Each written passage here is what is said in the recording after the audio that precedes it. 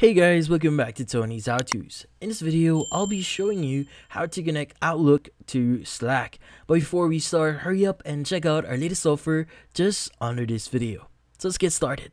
So the first thing that we need to do here is we first need to log in into our Slack account.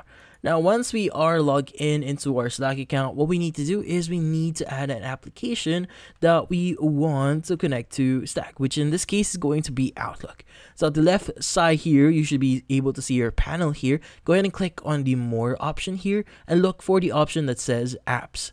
Now under apps, what we need to do is we need to look for Outlook. So just type in Outlook here and just press on enter. And once you see Outlook here, what we need to do is we need to choose the appropriate application that we want to connect.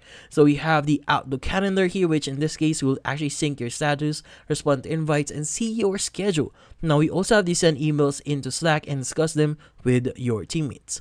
Now for example, we want to connect our Outlook calendar here. Let's go ahead and click on add. And from here, what we need to do next is we just need to install Outlook, Outlook Calendar into Slack. So let's go ahead and click on Add to Slack. And from here, it's going to ask us if you want to actually connect our account. So let's go ahead and click on Allow. Now on the next page, it's going to ask us to sign in into our Outlook account. In this case, let's go ahead and enter our Outlook email here and just click on Next. And from here, what we need to do next is we need to provide our password. So let's go ahead and provide our password here and click on Sign In. Now, once you are signed in, it's going to ask you for some permission here.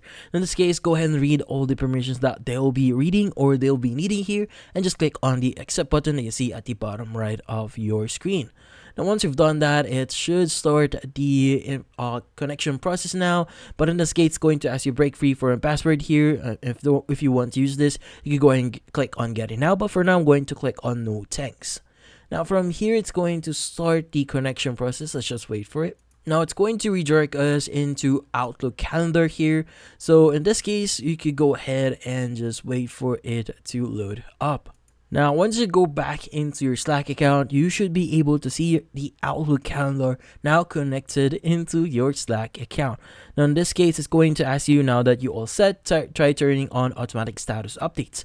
Now, your Slacks or your status in Slack will automatically update based on your calendar when you are in a meeting, out of office, or working remotely. But in this case, you can go and click on turn on or no thanks, and that's about it. So if you found this video helpful, hit the like and subscribe button and watch our next video.